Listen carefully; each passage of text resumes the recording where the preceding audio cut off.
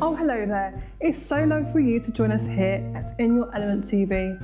I'm Goldie, and we love having you join us and come on our adventurous journey where we'll be sharing tools about kindness. Today, we will be working on your emotional body, which is represented by the water element. Let's learn about kindness. Before we start, remember to like, subscribe, and notify so we can all go through these times together.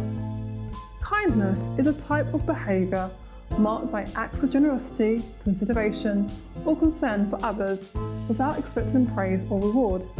It can simply be acts of kindness such as making someone something, such as cooking a cake for a loved one, or writing a letter to an older family member, making a friendship bracelet for a friend, giving your old books or toys to charity, supporting a friend who may have fallen over, or simple as saying thank you to the bus driver or the lollipop lady.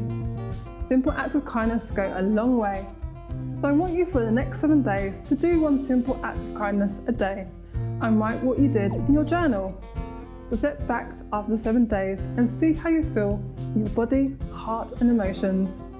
Enjoy working your kindness list and let us know how it goes for you. If you have any specific requests or content ideas, please write a note in the comments or contact us via our website or social media platforms. This is me, Goldie, signing off for now.